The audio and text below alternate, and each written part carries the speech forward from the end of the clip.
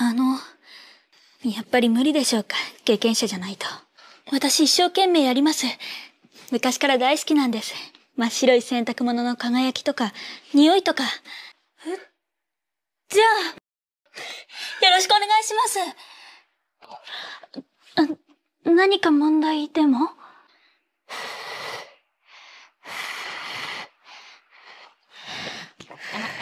えはい、すいません。そんな、乾さんはいつからここでバイトをしてるんですか？どうして慶太郎さんと知り合ったんですか？やっぱ女の乾さんの趣味は何ですか？乾さんはどんな風に生きてきたんですか？素敵ですね。どうかしたんですか？乾さん。大丈夫です。でも、何なんですか？さっきの怪物。いえ、慶太郎さんにいろいろ教えてもらったんです。さっきの怪物のことや、乾さんが戦ってることとか。すいません。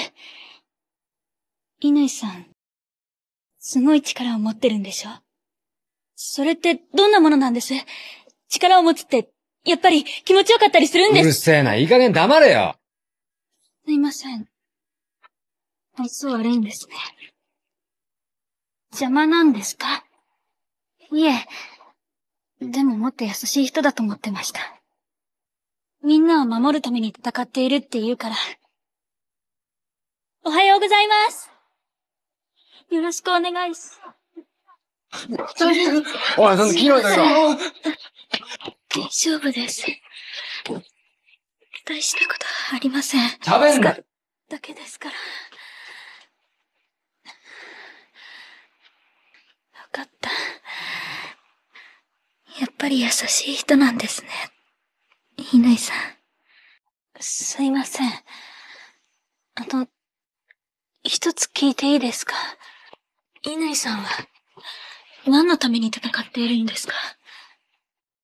戦うことで、誰かを救うことができると思いますか？10年後も生きていてくださいね。乾さん。乾さんならきっと多くの人を救えると思うから。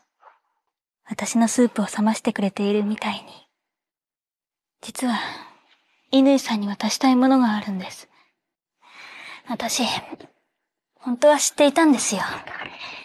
乾さんのこと。流星塾の仲間たちから聞いて。乾さん、ま、待ってください何？乾さん。乾さん。そうだから。